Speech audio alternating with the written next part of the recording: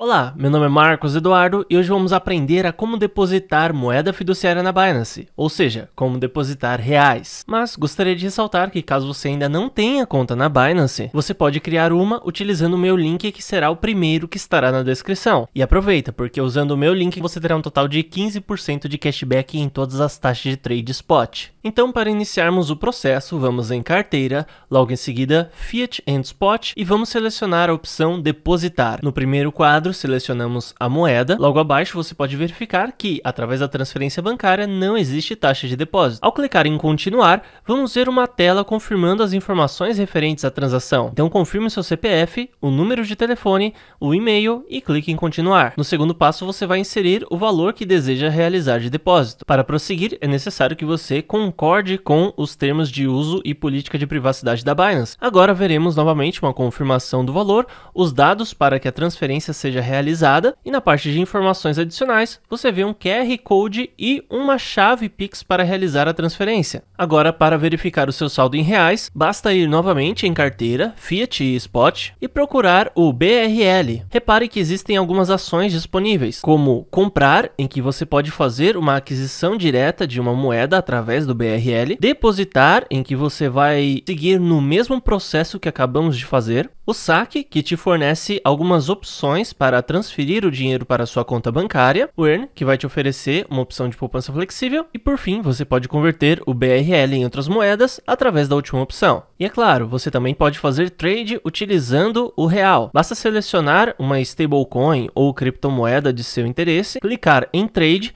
e verificar se existe a opção do par da respectiva moeda e o BRL. Agora algumas informações importantes. As transferências realizadas entre as 20 horas e as 6 horas da manhã são limitadas a mil reais por conta bancária. O valor da transferência que você fizer deve ser o exato valor referente ao valor da ordem que você criou. E o Pix é a melhor opção de transferência porque funciona 24 horas por dia, todos os dias. Então, se a informação foi útil, inscreva-se no canal, ative o sino das notificações, deixe um like e um comentário. Ah, e não se esqueça, se você ainda não tem conta na Binance, use nosso link aí e se cadastre.